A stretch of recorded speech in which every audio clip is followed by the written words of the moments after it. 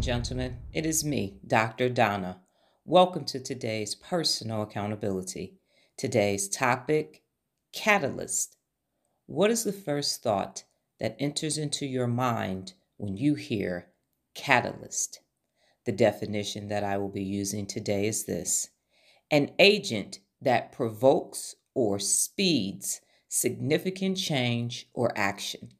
An agent that provokes or speeds significant change or action.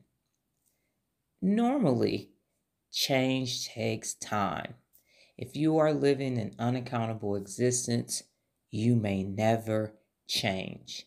You may never, ever take action.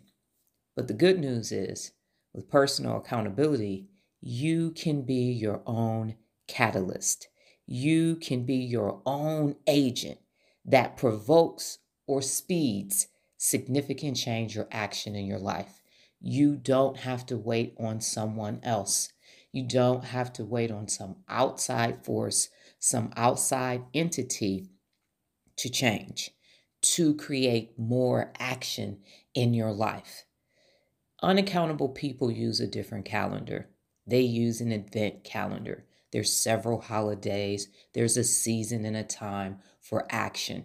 But when you hold yourself personally accountable on the daily basis, you know that you can be a catalyst every single day. You can make significant changes every day. You can take action every day.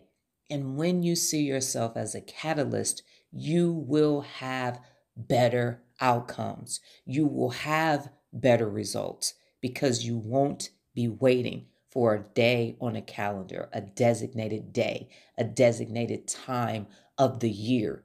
You can change today. You can take action today.